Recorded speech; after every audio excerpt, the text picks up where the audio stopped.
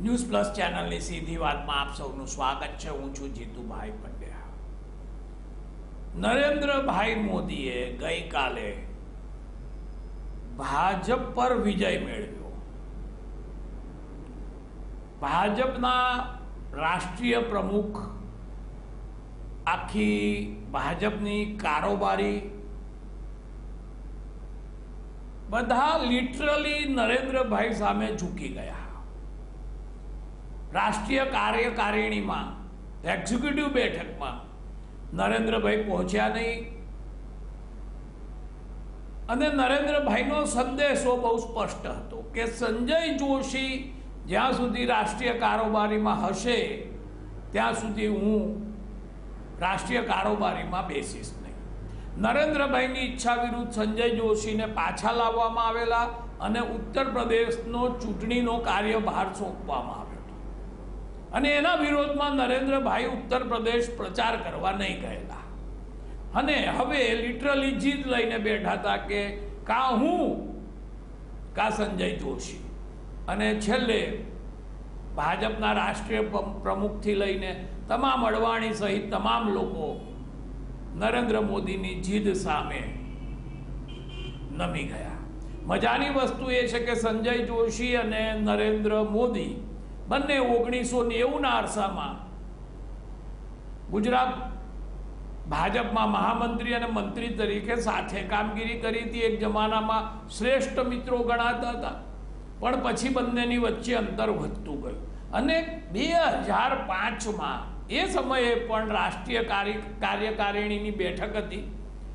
અને સંજય જોશી સામે કમનસીબે બહુ દુઃખ સાથે વડોદરાની એક મહિલા ની અશ્લીલ સીડી પ્રકાશિત કરવામાં આવી. અને સંજય જોશી ના ચારિત્રનું ખૂબ કરી નાખવામાં આવ્યું. અને પછી મહિનાઓ, વર્ષો પછી કહેવામાં આવ્યું કે આ સીડી ફેબ્રિકેટેડ છે બનાવટી છે ઉપજાવી કાઢેલી છે. અને રાજકારણમાં બધા જ એમ કહી રહ્યા છે કે આની પાછળ કાં નરેન્દ્રભાઈનો હાથ હતો, કાં નરેન્દ્રભાઈની બુદ્ધિ હતી. અને એ સંજય જોશી નું જે રાજીનામું બે હજાર પાંચમાં લઈ લેવામાં આવ્યું, એમને છ વર્ષ બહાર બેસાડી રાખવામાં આવ્યા બે હજાર બારમાં. યુપીમાં એમને ફરી કોઈ પણ હોદ્દા પર લીધા સિવાય યુપીનું કામકાજ સોંપવામાં આવ્યું. અને એની પાછળ નીતિન ગડકરી હતા. અને જ્યારથી સંજયભાઈને ઉત્તર પ્રદેશમાં બેસાડ્યા ગડકરીએ, નરેન્દ્રભાઈએ ગડકરી સાહેબ સાથે વાત કરવાનું બંધ કરી દીધું. રાષ્ટ્રીય પ્રમુખ સાથે વાત નતા કરતા અડવાણી જોડે એમના સંબંધો તંગદિલી ભર્યા છે. બેઉ એકબીજા સાથે બોલતા નથી. ગઈકાલે પણ નરેન્દ્રભાઈ કાર્યકારિણીમાં પહોંચ્યા, કારોબારીમાં પહોંચ્યા અને થોડી વારમાં અડવાણી કશું બોલ્યા વગર, બંને એકબીજાને મળ્યા વગર અડવાણી એ જગ્યા છોડીને જતા રહ્યા. એવું અખબારી અહેવાલો કહે છે. નરેન્દ્રભાઈનું રાજકારણ. નરેન્દ્રભાઈને મુબારક છે.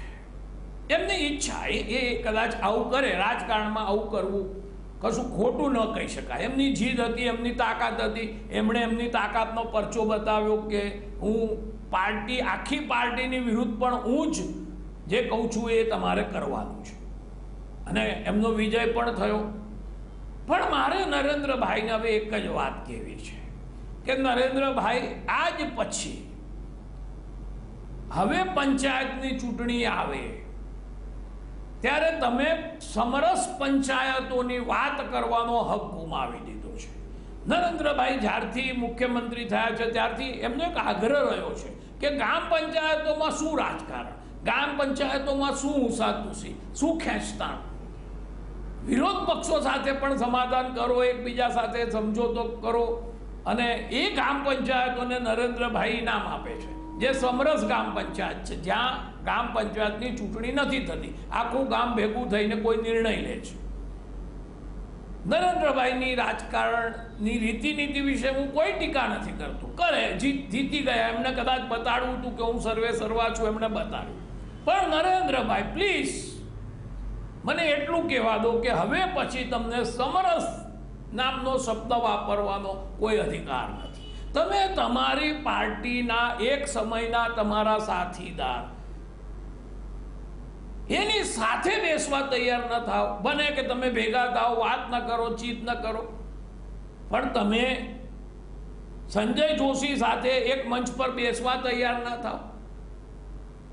તમે વિરોધ પક્ષના નેતા સાથે એક મંચ પર બેસી શકો, તમે વડાપ્રધાન સાથે જે બીજા પક્ષના છે એની સાથે બેસી શકો, પણ પોતાની જ પાર્ટીના એક નેતા સાથે તમે કારોબારીમાં ભેગા ના બેસી શકો. અને આ રાષ્ટ્રીય કારોબારીઓ, કારોબારી તો દોઢસો બસો સભ્યોની હોતી હોય છે. હવે દોઢસો બસો સભ્યમાંના એક સભ્ય સામે તમે એટલો બધો વાંધો લો. અને બીજી બાજુ તમે એમ કહો કે ગામમાં સરપંચ માટે શાના માટે ચૂંટણી થાય. બધા ભેગા થઈને કરો. અહીં રાજકારણ નહીં, અહીં ચૂંટણી નહીં, અહીં સમરસ. લોકશાહીનો જ્યાં પાયો છે ગ્રામ પંચાયત, ત્યાં ખેલદિલી રાખો. નરેન્દ્રભાઈ, આ કોઈ પણ સંજોગોમાં તમારી ખેલદિલી નથી દર્શાવતું કે નથી તમારી સમરસતા દર્શાવતું. એટલે નરેન્દ્રભાઈની રાજકારણની સફળતાઓ ખૂબ છે. હજુ પણ મળે, આપણને વાંધો નથી, ગુજરાતી તરીકે મને ઘણા કહેશે જીતુભાઈ, ગુજરાત તરીકે આપણે ગૌરવ લેવું જોઈએ કે નરેન્દ્રભાઈનું નામ વડાપ્રધાનની રેસમાં પહેલું છે. પણ એ જ નરેન્દ્રભાઈ, સંજય જોશી નામનો ગુજરાતી માણસ, સંજય જોશી નામનો બ્રાહ્મણ, રાષ્ટ્રીય કારોબારીમાં પોતાની સાથે બેસે, એની સામે વાંધો લઈ રહ્યા છે. તો મિત્રો નરેન્દ્રભાઈનું રાજકારણ નરેન્દ્રભાઈને મુબારક છે, આપણે ના ન કહી શકીએ. ભાજપ માટે પણ થોડી ક્ષોભભરી પરિસ્થિતિ છે, રાજકારણ છે, આવું ચાલ્યા કરે એવું ભાજપ પણ કહી શકે. એમના પ્રમુખ પણ કહી શકે, ગડકરી સાહેબ, કે હાર જીત થતી રહે છે રાજકારણમાં. પણ એક જ વાત આજે હું કહેવા માગું છું કે નરેન્દ્રભાઈ હવે સમરસ શબ્દનો ઉપયોગ ન કરે, મહેરબાની કરીને ન કરે. અને હવે પછીની ગ્રામ પંચાયતોની ચૂંટણી સમરસ થાય એવો આગ્રહ ન રાખે. કારણ કે સમરસનો જે અર્થ છે, એ ન તો નરેન્દ્રભાઈ સમજ્યા છે, ન એનો અમલ કરવા માગે છે. જ્યારે એમની જિંદગીનો, એમના ગમાણ ગમાનો સવાલ આવે, ત્યાં કોઈ સમરસતા નથી. તો એમણે આખા ગુજરાતને સમરસતાના પાઠ ન ભણાવવા જોઈએ.